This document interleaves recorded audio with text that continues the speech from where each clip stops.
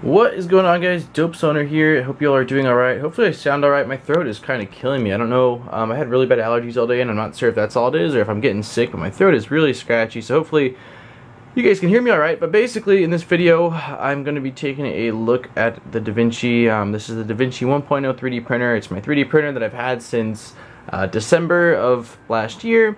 And basically I was in the process of upgrading it to this um, Pico hot end right here. Um, as you can probably see, I've got a bunch of 3D printed kind of like add-ons and stuff like that to the actual extruder mount.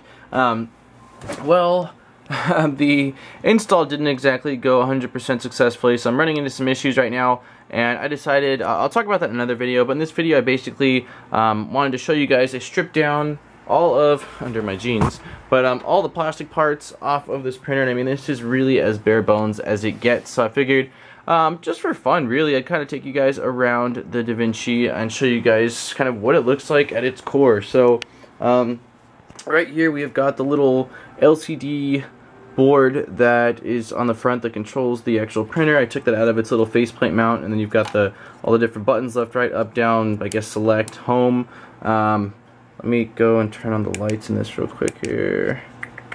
Let's see. Do, do, do, do, do. Extruder, bed settings. And lights. Okay, lights are on. Um, so yeah, as you guys can see, probably, if it goes back. Mm -mm. No, it's not showing it. Whatever. Oh yeah, but it says like deaf and deaf, so it's just not right. I'm having issues with the hot end, which I need to mess with. But um, so yeah, basically we've got the front of the printer, I've got the bed dropped all the way to the bottom just that way I have a lot of space to access the extruder when I mess around with it and troubleshoot it. Um, let's see, on the inside we have got belts, railings, um, we've got a stepper motor right here, we have got, let's see, what else? I'm trying to think of what is like exciting to show you guys. I, the cables are a mess, please ignore them. Um, again, I'm in the process of upgrading and so I've got like exposed solder points that I was testing to make sure that everything was working before I sealed them up with um, heat shrink tubing. Uh, but when this thing is back up and running I'm probably gonna upgrade let me show you guys the LED you've got I don't know how well it'll focus because they're so bright but you got LED strips right here um, I'm planning on upgrading them. I don't know if I'm going to do just brighter LEDs or if I want to like give it a color scheme, like green or red or something like that to make the printer glow, but that's just something that I, um, totally unnecessary, but I, have got to do it. um, just because I like to like customize everything that I have. Um, but let me see, let's take a look at the back right now. I've got the board exposed. I mean, when you take all the plastic off, it kind of really shrinks down the printer. You lose about um, two inches on each side so I mean it definitely makes the printer a hell of a lot smaller. But yeah so on the back here this is the board which you guys have probably seen before because I did um, in my video on how to flash this printer I did take the back off of the printer.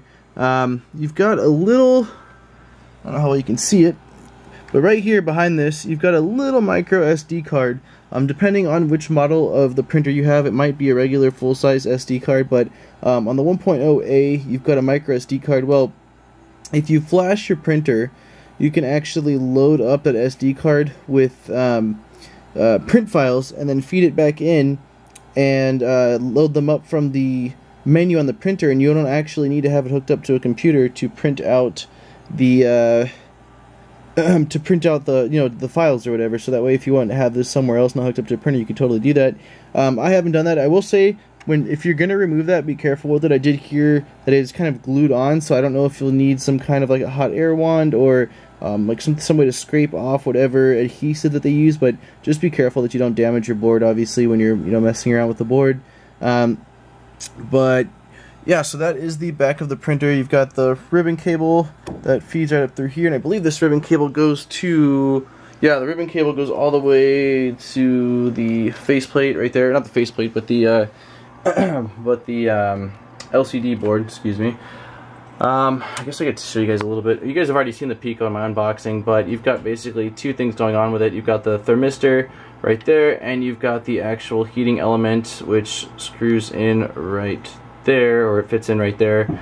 So, yeah, I'm not really sure what's going on. I, I need to do some testing of the cables and um, see if there's anything shorting out anything, but I've just been it's been really hot and I haven't gotten around to doing it, but I'd like to get it back up and running soon because I do have some projects that require me to have my um, 3D printer up and functional. So, you know, I'm working on that, but it's kind of interesting to see a 3D printer at its core. I mean, Oh, I need to go over my CNC machine with you guys soon here because you guys haven't seen it since it's been up and running.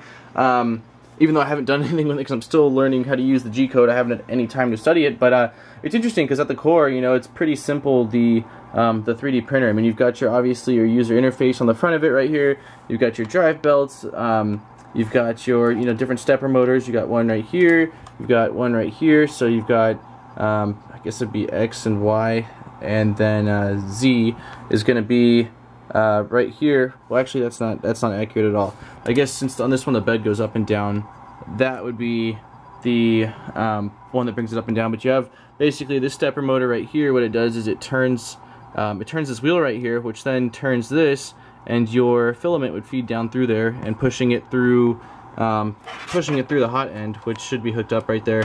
Uh, but yeah, I'll show you guys another video where I kind of show you guys the Pico as I'm messing with it and talk about the issues I'm having with it. Um, but um, yeah, I'm, I'm, really hoping that I can get that all cleared up and fixed. Worst comes to worst, after some troubleshooting, if I cannot get the Pico hot end working, I'll just put the stock hot end back in because I do still have it um, up over on my desk. Uh, but yeah, so I figured again I would at least show you guys um, maybe those of you that are interested in purchasing the DaVinci printer, just like what this thing looks like at its core and what you are getting for your money. I mean, it's pretty thin sheet metal. Um, you know, it's definitely, it's pretty cheaply made, I will say. But again, for like, for the price, I, I still feel like it's fair. And it's gotten, it's definitely gotten me into the 3D printing world, if you will. It's a good stepping stone for those that don't want to spend an arm and a leg and um, you know want to kind of see what 3D printing is all about. Um, I definitely don't have any regrets by purchasing it. You know, um, especially if you're willing to flash it and you're able to use whatever filaments you want and um, you know other software like Repetier, then it is definitely a pretty solid um, you know little printer to get you kind of rock and rolling with it all. So on that note, I will end the video. If you have any other questions for me in regards to the printer, um, feel free to comment down below. My 3D printing videos, uh, specifically about the DaVinci, um, they're doing really good. So um, I'm trying my best to kind of do definitely more of them and um, respond back as much as I can. You guys have been great when it comes to responding back to each other though for like the flashing tutorial uh, video because I haven't really gotten around, I've been busy so I haven't gotten around to answer all of the comments that I get on there. So um, yeah, hope you all are doing well. Don't forget to like and subscribe for more videos. Dope Soner and I'm out. Peace guys. Hey guys, don't forget to hit the like button on the bottom of this video, and if you're not subscribed, subscribe for new great videos every single week, including monthly giveaways. Thank you so much for checking out this video, and I'll see you guys next time.